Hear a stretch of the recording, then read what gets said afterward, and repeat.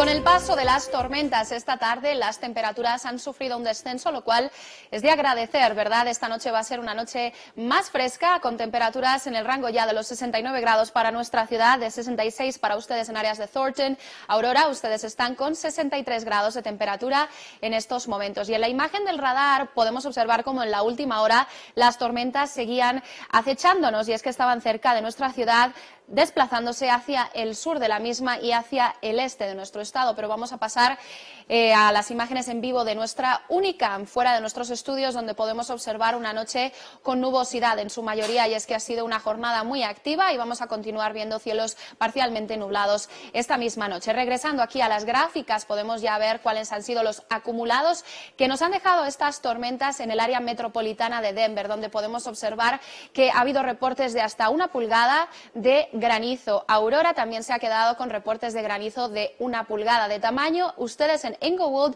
tenían más de una pulgada con 1.75. Lakewood también se ha quedado con reportes de granizo y Cherry Creek, desde luego, se quedó con reportes de pulgada de eh, reportes de granizo de 2 pulgadas, pero llegó a acumularse una capa de hasta 3 pulgadas en el área de Cherry Creek, precisamente muy cerquita de donde están nuestros estudios. Satélite radar para las últimas 12 horas, pues la actividad ha estado enfocada hacia el oeste de nuestro estado y después, en horas de la tarde, a eso de las 5, se han reportado esas tormentas severas en nuestra área, precisamente aquí en la ciudad, donde hemos visto además nubes en embudo, por eso se han emitido esos avisos de tornado que fueron descalificados ya a las cinco y media de la tarde. Las alertas por inundaciones para nuestra área estaban emitidas y ya se descalificaron a las siete y cuarto de esta tarde, pero seguimos bajo aviso de inundaciones para áreas del norte de nuestro estado, así como que las que continúan para áreas de pueblo. Para las próximas horas esperamos más tormentas. Esta imagen del radar todavía no las muestra porque es